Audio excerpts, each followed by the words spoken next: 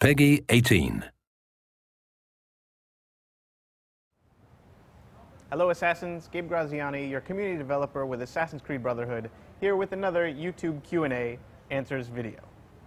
In a previous video, I talked a little bit about some of the gameplay customizations in multiplayer, but Mr. Milkshake 101 would like to know, will you be able to customize an assassin's appearance? Yes, you will. And as a matter of fact, there are two tiers, two tiers in which you can do this. The first is that because we know that it's important to have a really cool avatar for you to play, we've created a whole slew of different multiplayer characters, each with their own different move sets and their own different signature moves for assassinations. The second tier is that you'll be able to unlock new colors and visual upgrades. So if you thought the courtesan was hot before, or you thought the priest was creepy before, just wait until you unlock their latest upgrade.